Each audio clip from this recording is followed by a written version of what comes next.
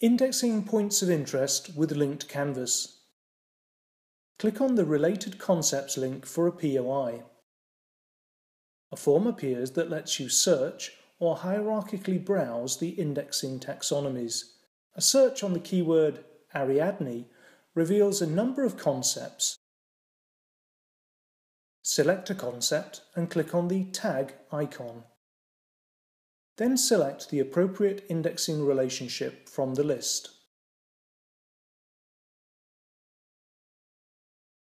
Linked Canvas allows any point of interest to be individually indexed to any number of concepts. This enables an incredibly powerful feature, the ability to search inside images and then to link to visual details in other images that are about the same concept.